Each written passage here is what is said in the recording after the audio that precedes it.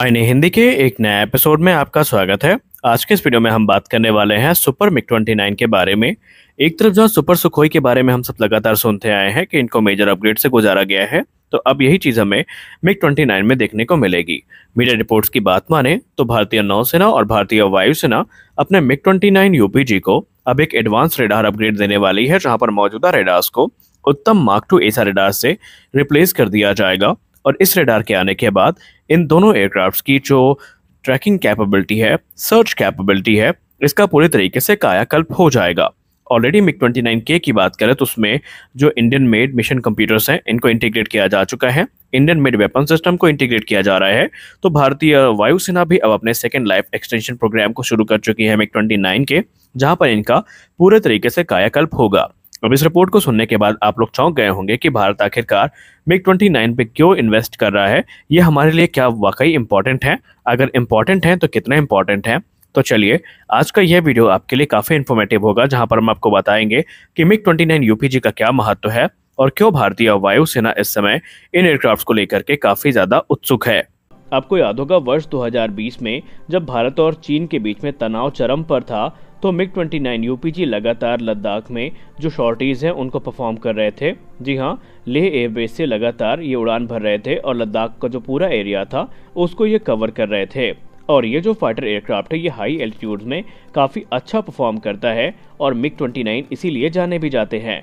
एक तरफ़ जहाँ दूसरे फाइटर एयरक्राफ्ट इतनी ऊंचाई पर स्ट्रगल करते हैं तो वहीं मिग 29 यूपीजी काफ़ी आराम से इन हाइट्स पे वहाँ पर शॉर्टी परफॉर्म करता है और जो भी मिशन होते हैं, उनको पूरा भी करता है। उसके पीछे का कारण ये है कि इतने हाई एल्टीट्यूड पे जो एयर डेंसिटी होती है, वो काफ़ी कम होती है, जिसके चलते जो फाइटर एयरक्राफ्ट के इंजन हैं, इनको काफ़ी दिक्कतों का सामना करना पड़ता है और ये उतना अच्छा पावर जनरेट नहीं कर पाते, जिसका मतलब ये है कि जो फाइटर एयरक्राफ्ट में पेलोड है, हमें उससे कॉम्प्रोमाइज़ करना पड़ता है। एग्ज़ाम्पल के तौर पर अगर हम चीन के जे इलेवन की बात करें, या भारत के खुद के सुखोई थर्टी एम के आई की बात करें तो वो भी इस फेनोमेना से अछूते नहीं हैं।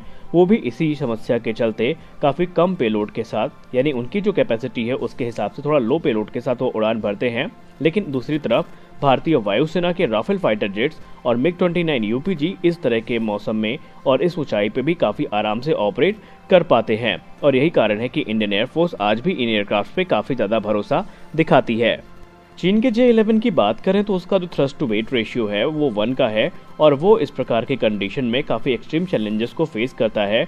वहीं इंडियन मिग 29 यूपीजी का जो थ्रस्ट टू वेट रेशियो है, ये 1.11 का है और जो lower thrust to weight ratio है जे इलेवन का वो उसको वेपन कैरी करने की जो कैपेबिलिटी है, उसमें भी कॉम्प्रोमाइज़ करने के लिए मजबूर करता है। यानी वो एयरक्राफ्ट फुल पोटेंशियल में अपने जो वेपन्स हैं, उनको कैरी करने में असमर्थ हैं। और ये जो चैलेंजेस हैं, ये डॉग फाइट में और भी ज़्यादा बढ़ जाते हैं, क्योंकि जब एयर टू एयर मिसाइल को डॉच करना होता है तो फाइटर जेट को एग्रेसिव मनोवर परफॉर्म करने पड़ते हैं। लेकिन ऐसी कंडीशन में ये चीज़ें भी काफ़ी ज़्यादा दूभर हो जाती हैं।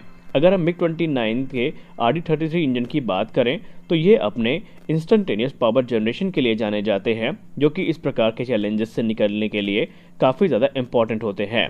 अगर हम series three R D thirty three engine की बात करें तो इन्होंने भारत के मिग 29 की फ्लीट को काफ़ी ज़्यादा मज़बूत कर दिया है, और ये जो इंजन है, अगले 10 वर्षों तक इसी प्रकार सर्विस देते रहेंगे। इन इंजन के आने के बाद जो मिग 29 की कैपेबिलिटी है, वो कुछ इस प्रकार से बढ़ी है कि इसका जो वेपन पेलोड है, इसको 4500 किलोग्राम तक इंक्रीज किया गया है और ये अपने सात हार्ड पॉइंट्स में इन वेपन्स को कैरी कर सकता है। वहीं इसकी जो रेंज है, उसको भी काफ़ी इम्प्रूव किया गया है, यानी इसकी जो रेंज है, वो तकरीबन 40 परसेंट तक बढ़ चुकी है और अब ये अपने इंटरनल फ्यूल की सहायता से जो मिशन है, उनको 2100 किलोमीटर की दूरी तक परफॉर्म कर सकता है और इसके अलावा इसमें एयर टू एयर रिफ्यूलिंग के लिए जो रिट्रैक्टेबल प्रोब है, उनको भी इंस्टॉल किया गया है। रही बात इंजन की तो इन इंजन को लाइसेंस के अंतर्गत हिंदुस्तान एरोनॉटिक्स लिमिटेड की कोरापुर डिवीज़न के द्वारा बनाया भी जाता है और अपग्रेड भी किया जाता है। और चीन के साथ जब विवाद चल रहा था तो वहाँ पर जो मिग 29 की परफॉर्मेंस थी, उस परफॉर्मेंस के चलते ही इनको एक नया बैज मिला है, जिसे हम कहते हैं ड्रैगन स्लेयर्स तो अब आप समझ चुके होंगे कि मिग 29 यूपीजी हमारे लिए क्यों इतना ज़्यादा महत्वपूर्ण है। अब आइए बात कर लेते हैं मिग 29 के स्क्वाड्रंस और इनको दिए जाने वाले अपग्रेड्स के बारे में। इस समय भारतीय वायुसेना में मिग 29 की तीन स्क्वाड्रन ऑपरेशनल हैं। पहली है स्क्वाड्रन 28, दूसरी है स्क्वाड्रन 47 और तीसरी है स्क्वाड्रन 223 और इन्हीं में जो मिग 29 यूपीजी फाइटर जेट्स हैं वो ऑपरेट किए जा रहे हैं। इनिशियल छह मिग 29 को रशिया में अपग्रेड किया गया था और बाकी के जो मिग 29 है इन्हें भारत में ही 11 बेस रिपेयर डिपो में अपग्रेड किया जा रहा है। और अब तक भारत ने तकरीबन 50 से ज़्यादा मिग 29 को अपग्रेड कर रखा है और इसके अलावा इनमें और भी ज़रूरी जो बदलाव हैं, ये भारत की तरफ़ से किए जा रहे हैं। अपग्रेड की कॉस्ट की बात करें तो प्रत्येक मिग 29 को अपग्रेड करने में 15 मिलियन डॉलर का जो खर्च है, वो आ रहा है। और इंडियन एयरफोर्स की स्टेटमेंट की बात माने तो अपग्रेड के बाद जो मिग 29 यूपीजी की कैपेबिलिटी है, ये एफ़ सिक्सटीन ब्लॉक 70 के समकक्ष हो चुकी है। यानी कैपेबिलिटी के मामले में ये एफ़ सिक्सटीन ब्लॉक 70 के पास पहुँच चुके हैं। मिग 29 में एक डेडिकेटेड इलेक्ट्रॉनिक वॉरफेयर स्वीट जिसे हम डी ट्वेंटी के नाम से जानते हैं, उससे इसको इक्विप किया गया है। डी ट्वेंटी नाइन को स्वदेशी तौर पर भारत में ही डिफेंस एवियोनिक्स रिसर्च इस्टेब्लिशमेंट यानी डेयर के द्वारा विकसित किया गया है, जो कि डीआरडीओ की एक लैब है और इसे भारत इलेक्ट्रॉनिक्स लिमिटेड के द्वारा प्रोड्यूस किया जाता है। डी ट्वेंटी नाइन की बात करें तो ये एक इलेक्ट्रॉनिक वॉरफेयर सिस्टम है, जिसमें radar warning receiver, E C M, E S M function हैं और इसके अलावा ये एक state of the art active phase array को भी यूटिलाइज करता है, जिसका इस्तेमाल जो मल्टीपल थ्रेड रेडार्स हैं, इनके सेलेक्टिवली जैमिंग में किया जाता है। ए ट्वेंटी नाइन एक सेल्फ प्रोटेक्शन जैमर के तौर पर भी सर्व करता है, जिससे कि इस एयरक्राफ्ट की जो ओवरऑल सर्वाइबिलिटी है, वो काफ़ी बूस्ट होती है, और जो सिचुएशनल अवेयरनेस है, वो भी काफ़ी ज़्यादा बढ़ जाती है, और जो मिशन इफेक्टिवनेस है, वो भी काफ़ी इंक्रीज होती है। D twenty nine system basically जो आर एफ़ सोर्स का इंफॉर्मेशन है आर एफ़ सोर्स की जो पोजीशन है, इसको देता है यू कह ले इसको डिटेक्ट करके सिस्टम तक पहुंचाता है इसकी इन्फॉर्मेशन उसके बाद ये एक appropriate D F R M based jamming technique जो कि अच्छे से लेकर के अठारह गीगाहर्ट्ज के बीच की होती है, उसको अप्लाई करता है। अगर हम इस सिस्टम की बात करें तो इसमें unified receiver excited processor solid state transit receive unit और एक्टिव एरे यूनिट और एक कूलिंग सिस्टम को यहाँ पर कंसिस्ट करता है, जो कि इसे काफ़ी ज़्यादा कैपेबल बना देते हैं। अब अगर हम मिग 29 यूपीजी के रेडार की बात करें मिग 29 यूपीजी अपग्रेड में एक अहम जो अपग्रेड मिला है, वो इसके रेडार को मिला है, जहाँ पर इसमें ज्यूक एमी रेडार इस्तेमाल किया जाता है। ज्यूक एमी रेडार काफ़ी एडवांस फीचर्स के साथ में आता है, जैसे कि इसमें advance air to surface functions दिए गए हैं, जैसे कि मैपिंग और टेरेन फॉलोइंग और ये जो रेडार है, ये एक इम्प्रूव सिग्नल प्रोसेसिंग को फीचर करता है। इसके डिटेक्शन रेंज की बात करें तो पाँच मीटर स्क्वायर आरसीएस वाले जो टारगेट हैं, उसके लिए इसकी जो डिटेक्शन रेंज है, वो 120 किलोमीटर्स की है। ये एक बार में 10 टारगेट को ट्रैक कर सकता है और एयर टू एयर मोड में चार टारगेट को अटैक भी कर सकता है। अगर हम एयर टू सरफेस मोड की बात करें तो ये रेडार एक टैंक को 25 किलोमीटर दूर से डिटेक्ट कर सकता है।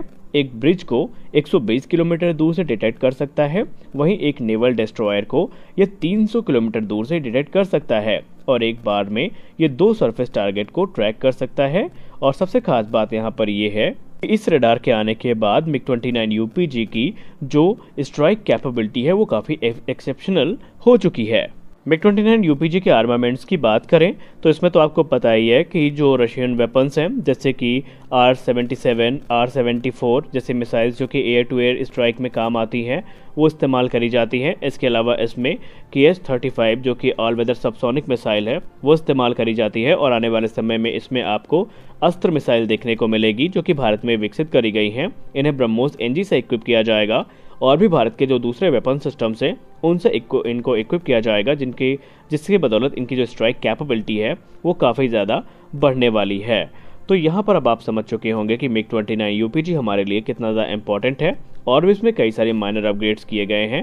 जैसे कि इसके जो सेंसर्स हैं, उसकी कैपेबिलिटी को इंक्रीज़ किया गया है। इसमें नया वेपन कंट्रोल सिस्टम इंट्रोड्यूस किया गया है, नए एवियोनिक्स इसमें इंट्रोड्यूस किए गए हैं। इसकी जो लेज़र गाइडेड पीजीएम कैपेबिलिटी है, उसको इन्हांस किया गया है। और भी कई सारी चीज़ें हैं जो कि इसमें शामिल करी गई हैं और इनके बाद ओवरऑल इनकी जो परफॉर्मेंस है, वो काफ़ी ज़्यादा बढ़ चुकी है। और यही कारण है कि इंडियन एयरफोर्स इन पर काफ़ी ज़्यादा जो विश्वास है, वो दिखा रही है। तो आज के इस वीडियो में बस इतना ही। मिलते अगले वीडियो में कुछ और अपडेट्स के साथ। तब तक के लिए जय हिंद।